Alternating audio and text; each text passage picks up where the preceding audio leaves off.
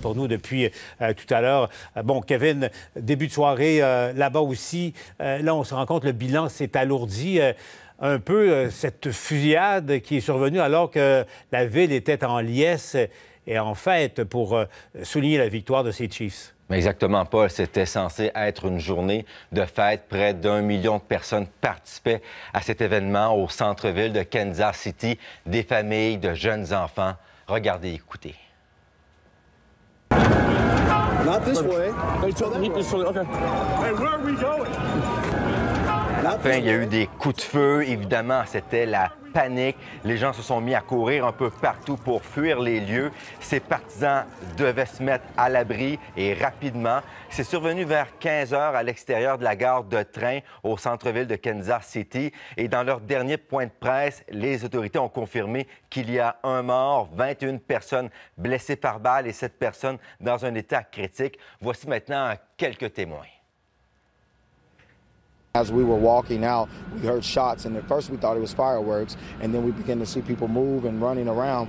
And uh, one of the shooters were like right behind us in a tan jacket. Did you see the shooter? Yes, I seen yeah, one of the saw shooters. one of the shooters. He had a brown jacket on, and he was uh, light skinned. He, he, was real young, probably looking yeah, at about 16 or 17 years old. Um, they were really young, yeah. so it was it, it, didn't look like it was some type of uh, staged or anything like yeah. that. It looked like it was just somebody just acting out of out of control. Yeah.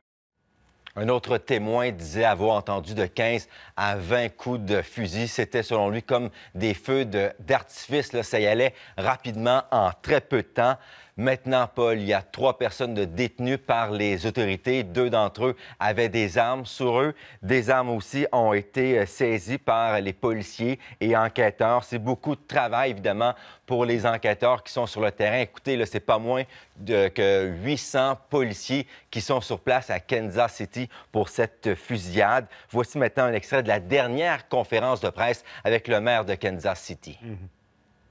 We had over 800 officers there, staffed, situated all around Union Station today. We had security in, in any number of places, eyes on top of buildings and beyond. And there still is a risk to people.